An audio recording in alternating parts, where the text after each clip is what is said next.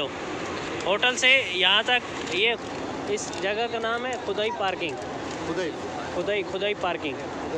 Hotel से यहाँ तक ये दो सौ अठारह अठारह में आएँगे और फिर यहाँ से चेंज करेंगे। गवर्नमेंट के पास कोई भी लगी रहती है कोई भी नंबर की कोई भी नंबर की कोई भी कलर के बैठ के जाएँगे और जैसे ही वापस उम्र करके आएँगे सेम ही रास्ते से वापस आएँगे आते हुए राइट में बसें खड़ी रहती हैं। कोई भी नंबर की कोई भी कलर की बस में आएँगे फिर यहाँ से दो सौ अठारह नंबर में जाएँगे होटल के लिए।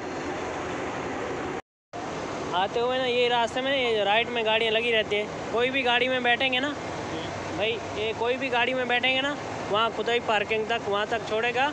वहाँ से फिर अपनी दो सौ अठारह नंबर में बैठ के इंशाल्लाह होटल में पहुँचेंगे। ये जगह का भी थोड़ा वीडियो बना लें, ताकि आपको ध्यान में रहे।